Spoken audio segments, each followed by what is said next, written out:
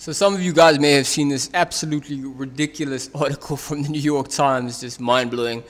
Don't go down the rabbit hole, in which they essentially argue, guys, that critical thinking is a bad thing. So what I'm going to do is I'm going to proceed to just dismantle the arguments and show you that they are aligned with deception and propaganda and they are not trying to empower you with the truth. So let's get started. As they explain here, we are taught that in order to protect ourselves from bad information, we need to deeply engage with the stuff that washes up in front of us. So obviously, you debate with somebody. If you disagree with them, you use evidence and you debate with them. But they say in reality, that strategy can completely backfire. Yes, of course it can backfire if you're not aligned with the truth. In other words, resist the lure of rabbit holes. Now let's just put that into perspective, guys. When they say that you need to resist the lure of rabbit holes, what they're saying is you need to resist new intriguing information. In other words, they are advocating that you become dismissive of something you do not agree with.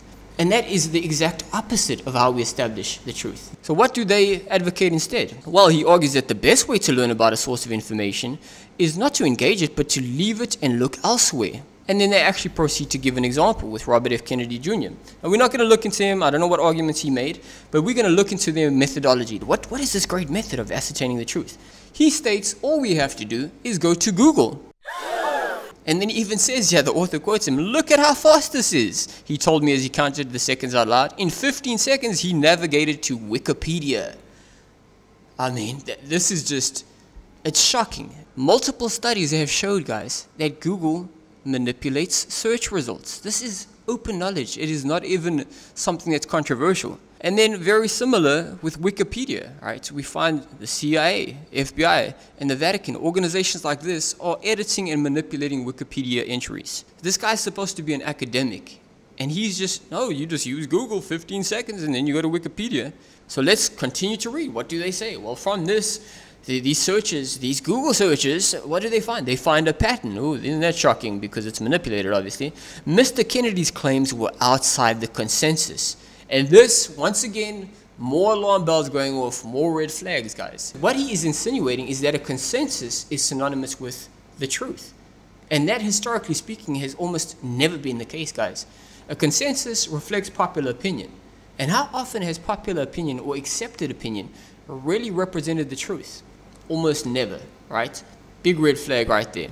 Now, what I want to also do is I'm actually going to take their article and I'm going to weaponize it and use it against them. They say that you should stop and investigate the source. So let's stop and let's investigate the New York Times, right? Well, what we find is they have a decades long history, guys, of deceiving the public and actually spreading very dangerous propaganda yeah, through Operation Mockingbird, which was a Central Intelligence Agency operation, where for many, many years, guys, it was for over 20 years, they misled and deceived the public in the United States. More recently, in the 90s, with the late great journalist Gary Webb, he exposed how the CIA was working with drug traffickers, and this invariably resulted in the crack epidemic in the United States. Well, the New York Times and other establishment media outlets, they embarked on a concerted campaign of character assassination and they ruined Gary Webb's life. They said he was a liar. Now, historically speaking, in hindsight, we actually know that Gary Webb was telling the truth and they were being deceptive. Once again, this is a real world example of how a consensus does not reflect truth. In even more recent history, uh, we have Glenn Greenwald when he was writing for The Guardian correspondence and collusion between the New York Times and the CIA. And then also this blog here from Noam Chomsky where he essentially exposes how the New York Times helped to cover up war crimes. With all of that said, guys, you can clearly see that the New York Times is being extremely, extremely deceptive. Yeah, this is a very low level of propaganda, and to me, it's kind of insightful of how desperate the establishment is getting. They can't compete with millions and millions of people out there who can now actually research for themselves rather than go to one authoritative source of information that we have to just blindly believe. The truth of the matter is there's no substitute for critical thinking and you have to learn how to verify, question and investigate for yourself. Help me spread this because we already know that the New York Times, Google, the establishment media are not going to expose themselves.